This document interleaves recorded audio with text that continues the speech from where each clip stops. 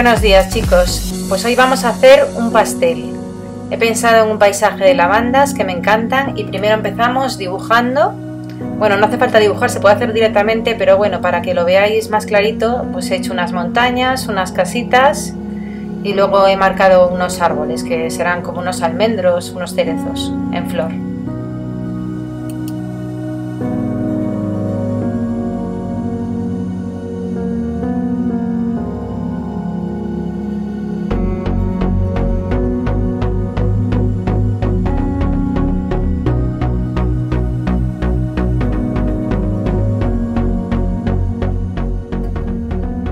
Comienzo ya a marcar los colores, como siempre empezamos por el cielo, las montañas que he metido malvas y marrones y moraditos, luego los verdes del campo, distintos verdes para dar diferentes tonos de luz, verdes más oscuros, verdes más claros y ya voy marcando lo que va a ser el campo de lavandas.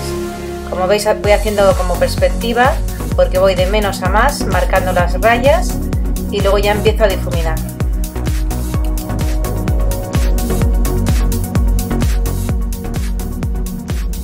Os voy a hablar poco porque creo que es mejor que observéis lo que voy haciendo y además voy a dejar en el vídeo varias veces los pasos, o sea que se van a ver repetidos para que no tengáis que retroceder y podéis observar todo lo que hago.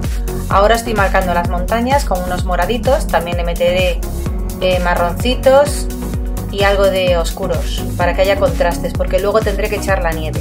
Pero prefiero que vayáis viendo cómo lo voy haciendo y seguro que me sabéis seguir.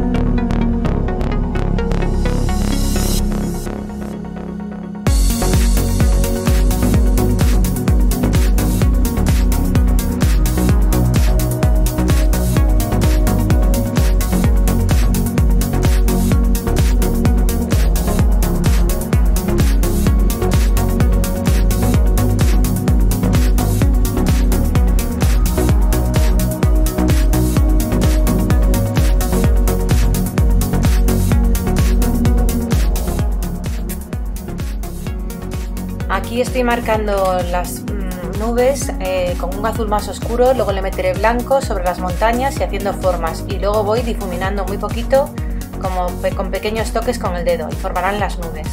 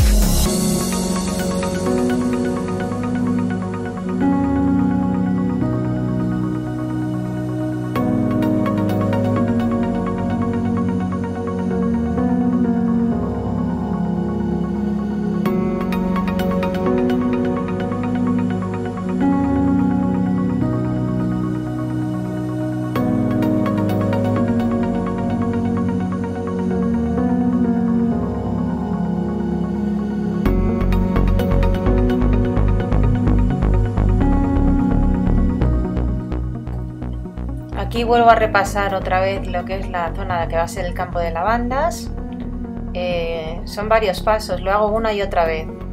Eh, si no los efectos que quiero conseguir no, no, se hacen, o sea, no vale hacerlo solamente una vez. Por eso lo repito una y otra vez y parece que estáis siempre haciendo lo mismo.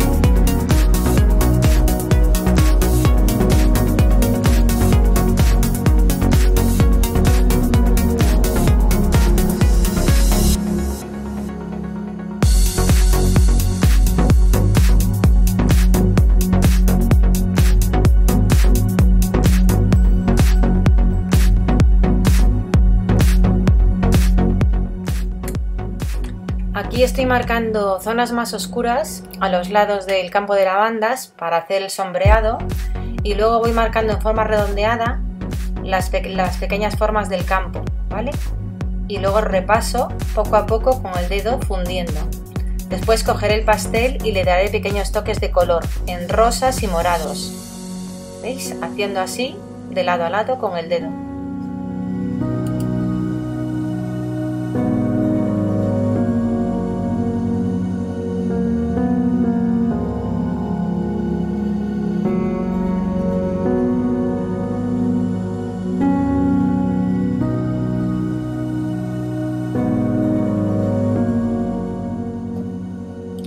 Ahora estoy ya haciendo los últimos repasos y estoy pintando un arbolito cercano a la casa, que da como una especie de sombra. Podéis también trabajar luego la sombra del suelo. Yo ya lo he dejado así. Espero que os guste mucho pintarlo y os veo prontito. Un beso fuerte para todos.